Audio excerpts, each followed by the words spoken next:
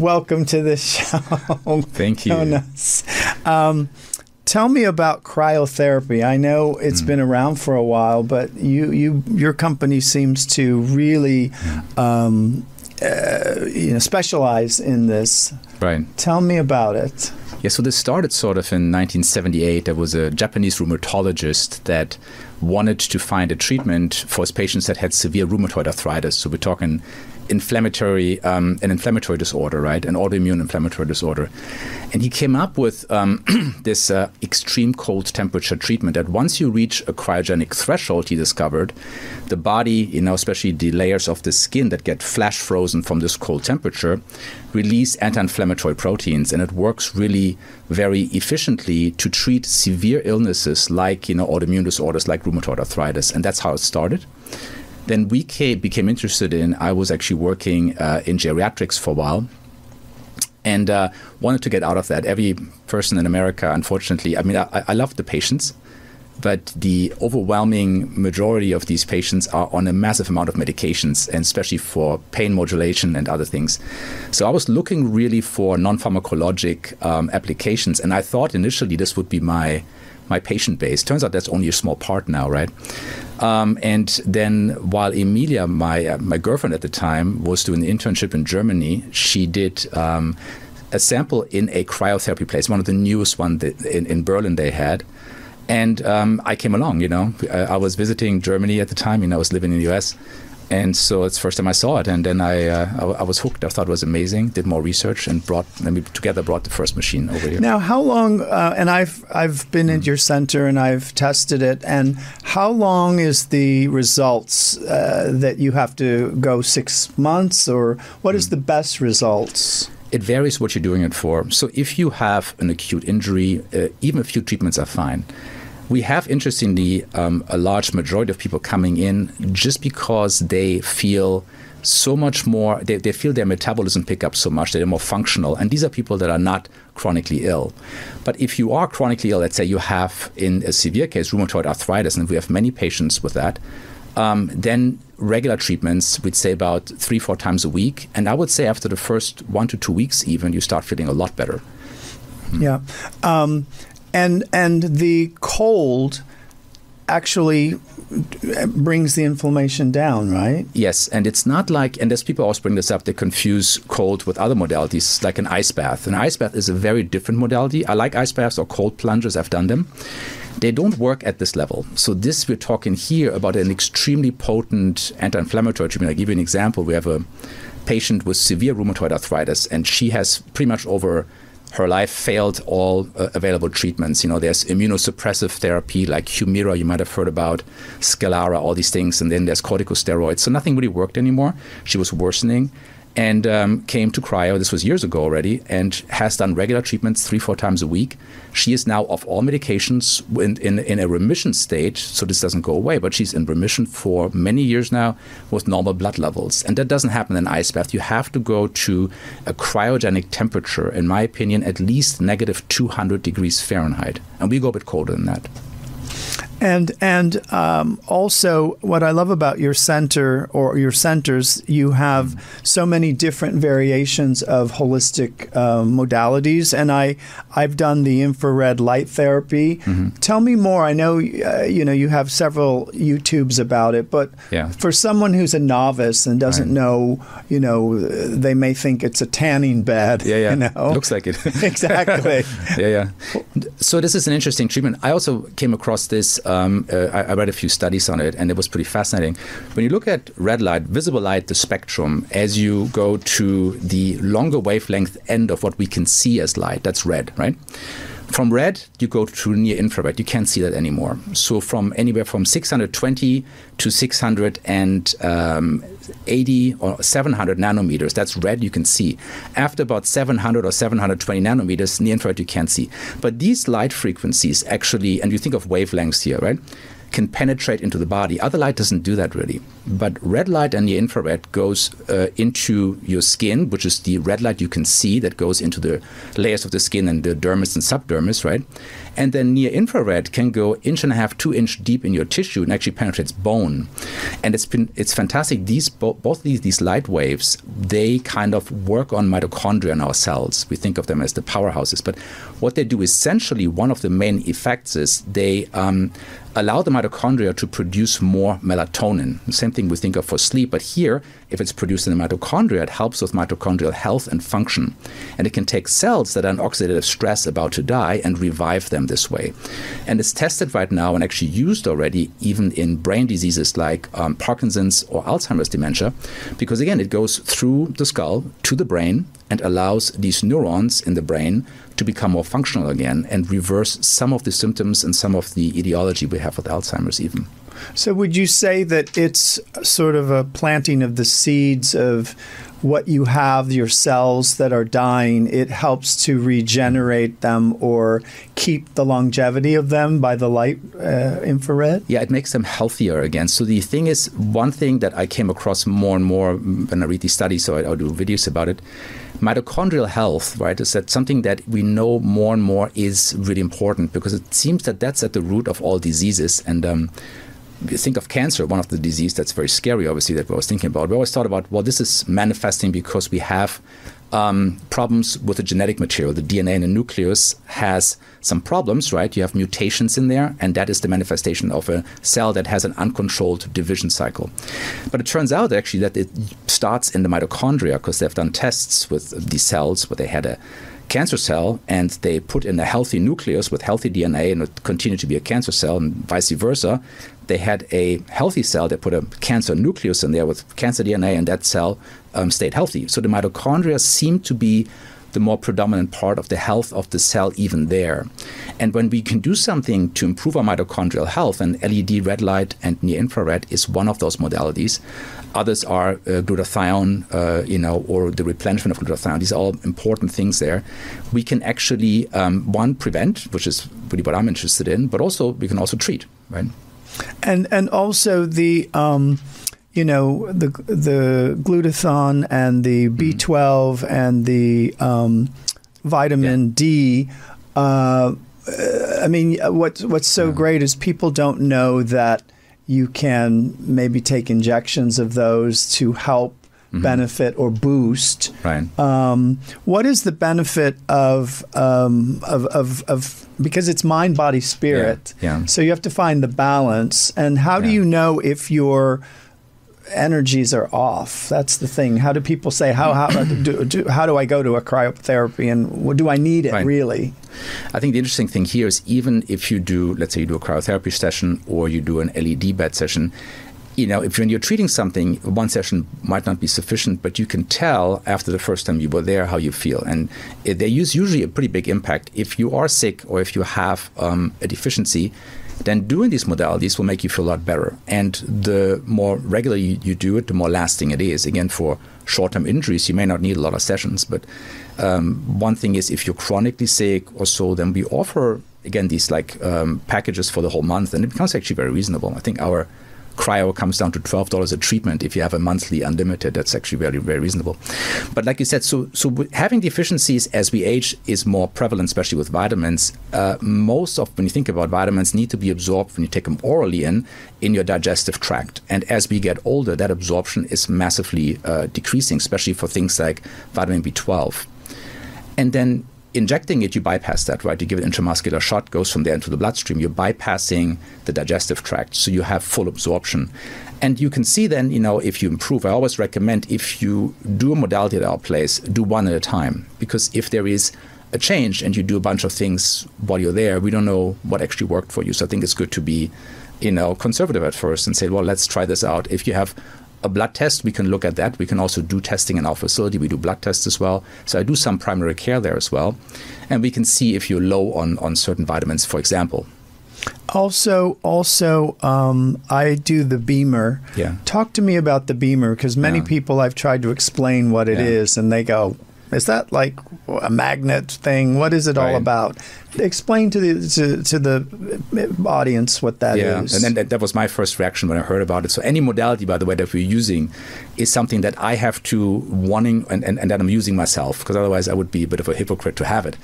This one I, I wasn't convinced at first, and then I looked at the studies; they were great, and uh, tried it out and had some amazing effects from this. So this is a PEMF device, pulsating electromagnetic field. So essentially, it's a magnetic um, field that you're on that has a certain wavelength, signature wavelength that they designed. It is not a very strong field, but you can feel it while you're on there. And the only thing it really does, it dilates capillary beds. And what it means is the very small blood vessels in your tissue, it allows the blood to go further. It allows to oxygen to go further than it usually goes, right? Because it widens those. And when you think of red blood cells, they have a certain size. They transport oxygen, they pick up CO2. Then you have waste products. And then you have your immune system, your white blood cells that need to get in there as well. And if these cells are chronically uh, constricted, you can't get in there. So what the BEMER does, it opens up these beds and allows better perfusion. And with that come all the effects that it has. It sounds a bit like snake oil because it has so many benefits. But when you think about it, you're oxygenating tissue, you are uh, picking up more CO2, you're allowing your immune system to go to places where it usually cannot go. And that's how it has such a tremendous effect on the body. So I think it's a fantastic treatment. Um, think of hyperbaric oxygen chambers. We don't offer that.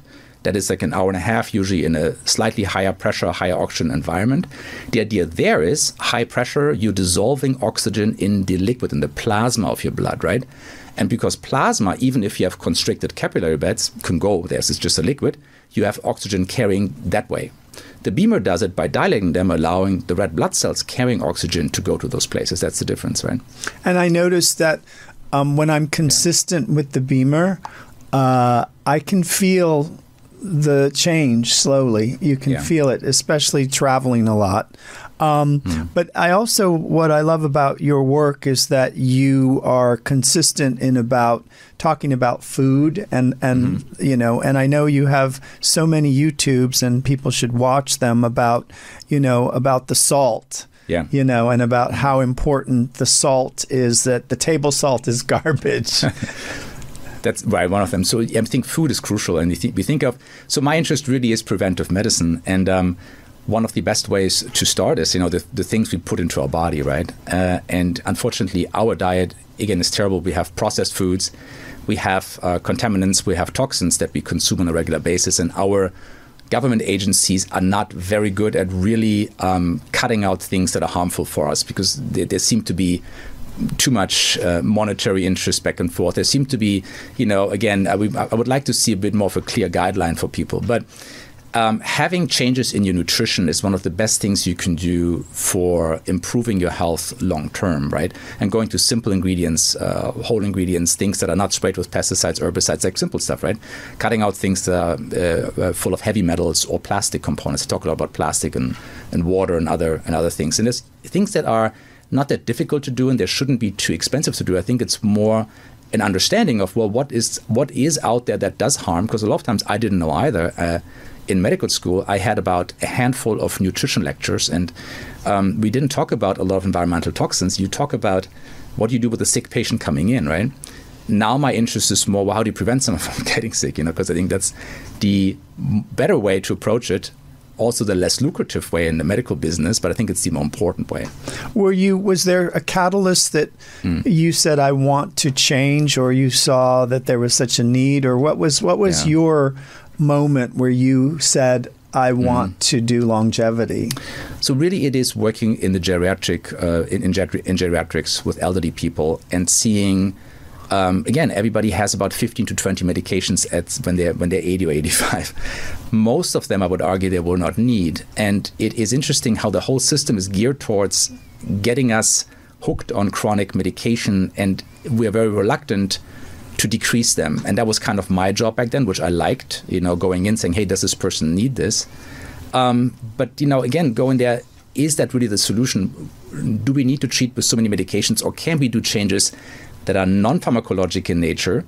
And of course, there can be uh, there can be medications to support. The interesting thing here that we see in uh, in Western medicine is one or the other, right? You can have either you go full pharmacologic and you know Western medicine, which which I studied. I went to UCLA for medical school, or you go in holistic, non non medication, food based. Right? I think they should work hand in hand. I think we should have both available. There are medications that are fantastic and are needed, but many medications are overprescribed, and it is the issue we have is that our medical system is a business. And when medicine becomes a business, especially in the pharma industry, you, I can't blame the pharma industry. They try to make money, and that's what they're set out to do, right? But it sometimes does not work in the interest of the patient.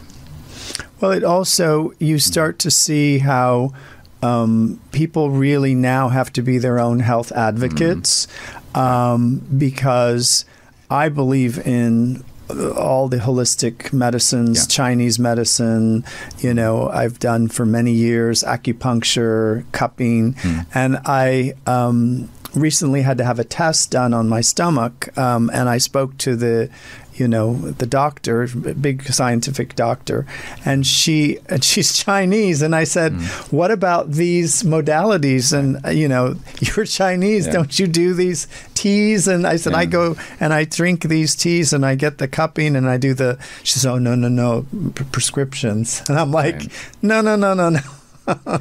She just said both. I mean, that's the thing. Uh, look at green tea. I did a video about it. Uh, green tea has an active ingredient called EGCG, which is amazing. Uh, it has a lot of anti-cancer properties, right? Mm-hmm. Studies in Japan have shown that you know people that drank about ten of these uh, cups of tea, the smaller cups than ours, of green tea had a lower incidence of cancer when you compare it in the population. So we know these things do work. We know there's they're active ingredients, and we know these are things that do not have a lot of side effects. But there's reluctance, and the reluctance is because as physicians, we are, whether we like it or not, we're influenced by the pharma industry, right? And the pharma industry, of course, it's in their interest to say, well, don't use anything that's not a prescription. We have the better studies and the better research and the publications, and that's absolutely true. They do. But that's because there's a lot of money involved, right? There's patents. And when you think about, I mean, do you know, is, is there a patent on green tea? Of course not, because again, these are natural ingredients. And then is in whose interest is it to do a multi-million dollar double-blind placebo-controlled uh, study on a particular uh, you know aspect of these active ingredients that is the issue that why we don't a lot of times have good studies on either cheap medications or repurposed medications and there's some very good ones as well or on natural ingredients of foods right but we do have a lot of studies for a lot of money on new patentable pharmaceuticals, right?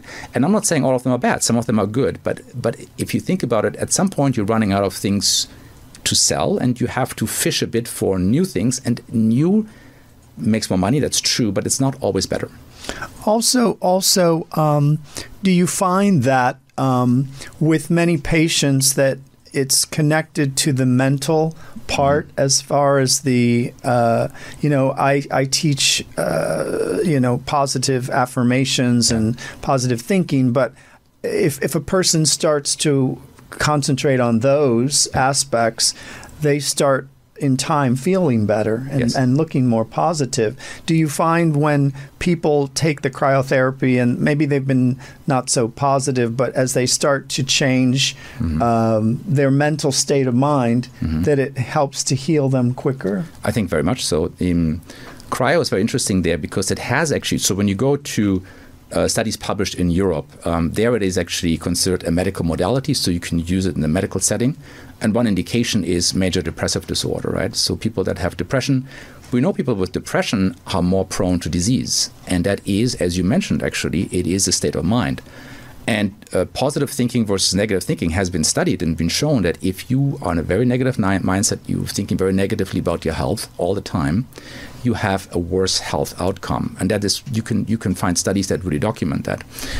And that is another pet peeve of mine with our field in medicine, because we usually give the worst possible diagnosis to someone, you know, and that doesn't do anybody any favors, you know. We're always saying like, well, in my experience, this will happen to you, you know. And a lot of times we don't really know because some people do better, some people do worse, you know. But you're right. If in a negative mind, a negative uh, thinking can greatly affect your health, and modalities like you know cryo or BEMER, when you come out of there, or the red light even, you can feel endorphins kicking in at a very high amount. You feel better. Uh, depressive symptoms uh, get better, get modulated at least, and sometimes go, go away even, right? And that impacts your health as well. So, one is the physical changes and the changes on, on a cellular level and the release of anti inflammatory proteins. The other one is the mental state. And I think they do work hand in hand. And, and I also uh, love that mm. you were speaking about how the red light can help anxiety mm. and depression. Is that yeah. because the endorphins are kicked in, or is it all the all the um, mm. procedures help to yeah. stabilize the mind? So, with the light therapy, is really its direct effect on the brain. You know, because again, remember the um, wavelengths can penetrate tissue.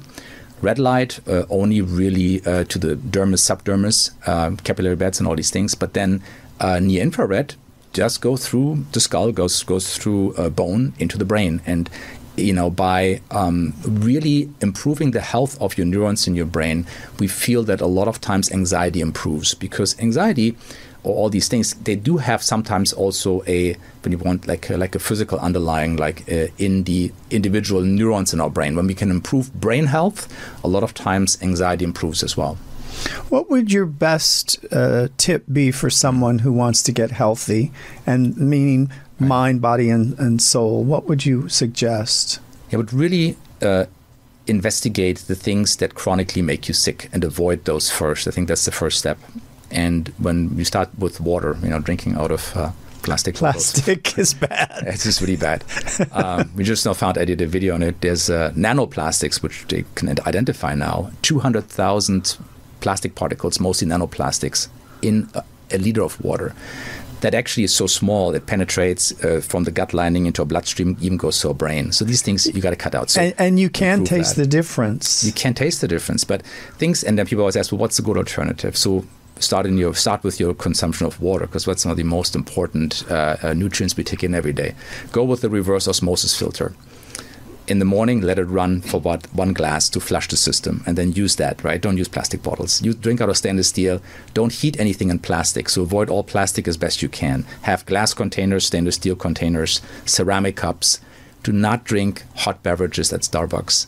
These cups, they're paper, they're lined with plastic. Otherwise, they would leak out. Right? And when you put a hot liquid in there, guess what happens? That dissolves more of the crap that's in there. We're talking phthalates and bisphenols if they tell you it's uh, BPA free, bisphenol A free, then there's bisphenol S or F in there. So there's, again, I would avoid all that. So that's number one. Then, in nutrition wise, go to simple ingredients. Don't buy anything in a package, ideally. So go with single ingredients. You know, we're talking about eggs, uh, milk. Uh, we're talking about fruit and vegetables, and even meat is fine. But when it's all packaged up and processed, and you have a lot of processed foods in there, these are things that have stuff in there we don't want, like you know seed oils. It's going to have uh, microplastics in there as well. It's going to have a bunch of crap in there. So go with that. Go with simple nutrition. Think think how people ate, let's say, 150 years ago. What did they buy in the, the grocery store, wherever they went? And uh, they were a bit healthier back, back then because they didn't have all these um, uh, chemicals we have today. They had less incidence of disease. They died from infection usually or uh, tuberculosis, which, again, I'm glad we have antibiotics and other things today, right? But if you think if it was okay 150 years ago, if that's what people ate, you're fine. If it's something that's very new, I would just not have it. Like artificial sweeteners and food colorings, bad. Yep. Well, thank you for the health chat with Doctor in the house. And if any of you would like to look him up further, you can go to his Instagram at jonas.kuehne.md and you can check out uh, his cryotherapy uh, chambers at uh, his uh, three three different locations in Los Angeles if you happen to be in Los Angeles. But thank you so much. It's a, always a pleasure to see you and your wife, and you'll see me at your center more and more. Thank you so much for having me. It was a real pleasure being here. It was great. So, thank you so much for joining me today on this special episode of Ready, Set, Live. Until next time, be well.